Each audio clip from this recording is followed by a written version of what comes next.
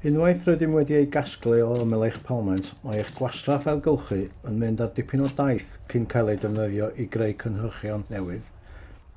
Yn gyntaf, mae'n mynd i safle yn Abergele lle mae'r cerbydau casglu yn cael ei gwagio. Mae eich gwastraff bwyd yn mynd i sgip ac unwaith mae'n llawn, rydym yn mynd â fo i'n gwaith compostio ar Ynys Môn. Yno, Mae ecsbarion yn cael eu compostio a'i hawyru i dymheredd uchel iawn mewn twnelau concrid. Mewn ychydig wythnosau, mae'r compost yn barod i'w defnyddio mewn parciau a gerddi ledled Conwy. Rydym yn casglu cymaint a hyn o bapur o gatrefi Conwy bob ychydig dyddiau. Bydd hwn yn gael ei ailgylchu i greu papur newydd yng Ngogledd Cymru, yn barod i'w ddefnyddio unwaith eto.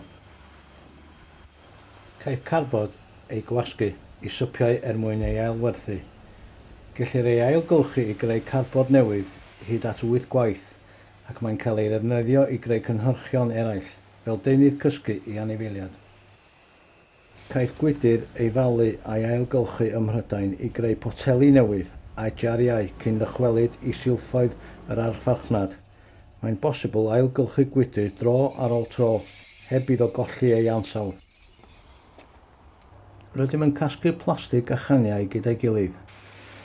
Felly, wrth ei gwagio oddi ar ein cerbydau, rhaid ei gwahanu gan ddefnyddio magnetau enfawr a cheryntau trydanol. Defnyddir caniau i greu ystod o gynhyrchion newydd, o ganiau bwyd a diod, i feiciau, ceir a ffontydd. Caiff poteli a chynwysyddion plastig eu hailgylchu i greu cynhyrchion pecynnu newydd a deunydd fflis.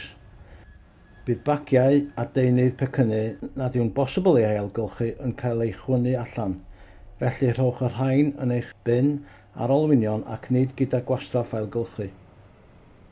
Oherwydd ei bod yn hawdd i ni wahanu caniau a phlastig, rydyn nhw'n mynd ei gasglu gyda'i gilydd. Nid yw hyn yn wir ar gyfer bob math o wastraff. Er enghraifft, mae gwydr yn achosi problemau mawr os yw'n cael ei gymysgu gyda'i mathau eraill o deunydd ailgylchu unwaith mae'n torri.